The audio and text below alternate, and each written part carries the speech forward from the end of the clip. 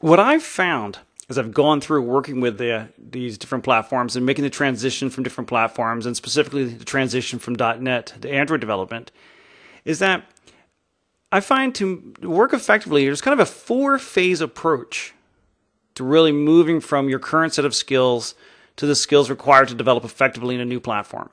So this series is based on these four phases that I, that I followed and worked out and think work well. Uh, just to note, four phases does not mean the series has just four courses in it.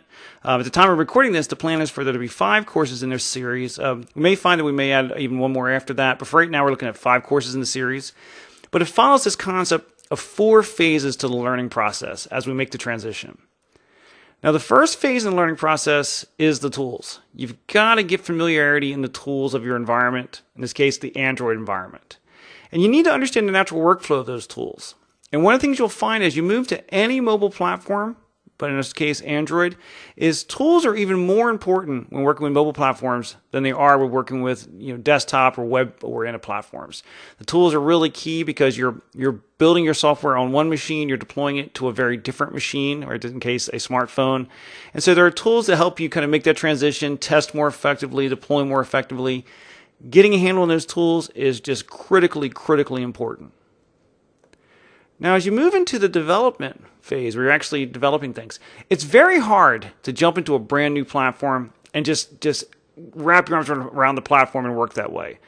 What I find works well for me and works well for most people I've uh, worked with is you follow a translation process at first. Is that you're looking to take your existing skills, in this case .NET skills, and you want to translate those skills and apply them to the other platform, Android.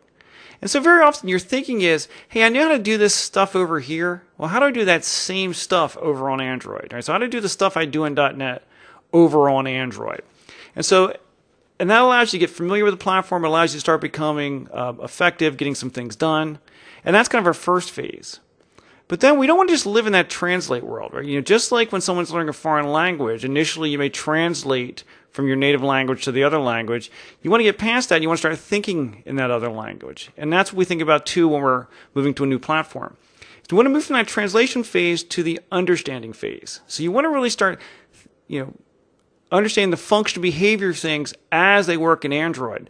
Now you still may be using very similar skill sets to what you know already in .NET, but as you're doing those things on Android, you're going to think less about the .NET way of doing them and start thinking much more about the Android way of doing those things. And that'll kind of start to open up your mind and you'll start to grasp the platform more effectively. And ultimately, what we want to do is get to that point where you actually embrace the new platform. That you, you just think like an Android developer, you work like an Android developer, you fully embrace the features, capabilities, style of Android. And that's the goal of this series, is to take you to that point. Now, it doesn't guarantee that you're going to be an expert Android developer by the end of this series, because obviously that takes time. But what I am confident about is that you'll be able to embrace the platform, think that way, and then through the use of um, some of the other intermediate and advanced courses Pluralsight has, move on to that next level and really start applying your skills in a very Android and effective way of working.